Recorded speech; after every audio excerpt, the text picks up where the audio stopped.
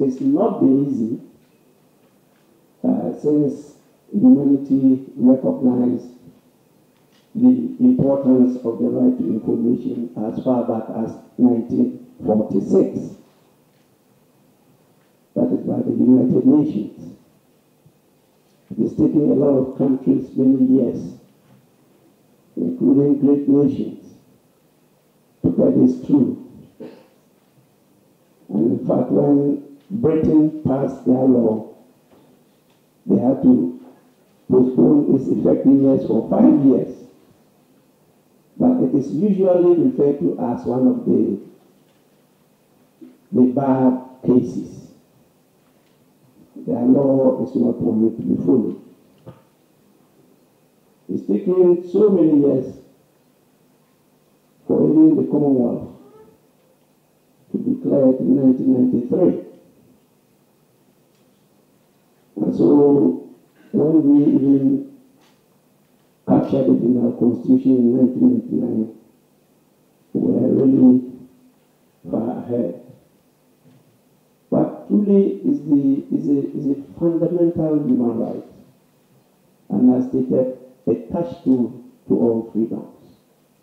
And it's so critical that in trying to give flesh to this skeletal right, need to get everybody on board. And I can assure you that in spite of all the work we did over the years, we're still going to find some things new. And we are still going to improve what has been presented to us. I recall presenting a report on this bill in December 2014. And yet, we could not get it through.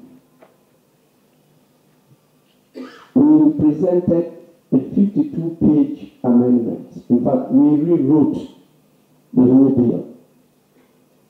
And it was very difficult to get through clause by clause on the floor of the House to get this law passed. I know by the time it came back to the House, we were then in October 2016, because we asked the uh, Attorney General Department to try to incorporate all the numerous amendments into the bill they presented to the House. And that took some time because we know the pressure on the AG's Department. It's not an attractive place to go for lawyers.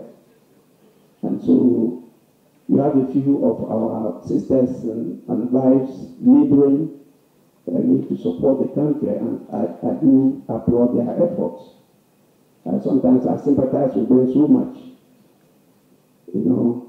But all the same, we are here.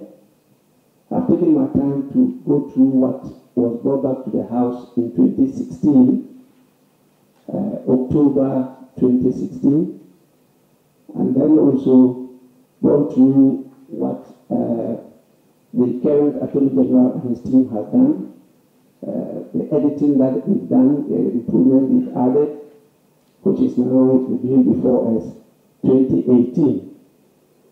I've gone through that. But I also, even in going through that, still see there is a need for us to improve on some areas. And so it's welcome that once again you are here with us we pray you will support us not only here in the uh, stakeholders conference, but also as we journey to Koforidua to commence our meetings. I recall the same organizations uh, appeared before the committee at the same hotel in 2014 to assist us deliberate on the provisions of the bill. Don't get despair. Let's still keep on the fight. I don't want to refer to the public debate, but I want to assure you that what Ghana has done, the quality of our bill so far is unparalleled. I have seen the other legislations passed, by so many countries that people refer to. If we wanted to do the same, we have done that long ago. But those countries, many of them are being called upon now to amend some portions of those acts they have passed. And so, in spite of the, the, the delay, inexplicable delay, we should still pat ourselves on the back because I'm sure when we pass this bill, it will be a reference point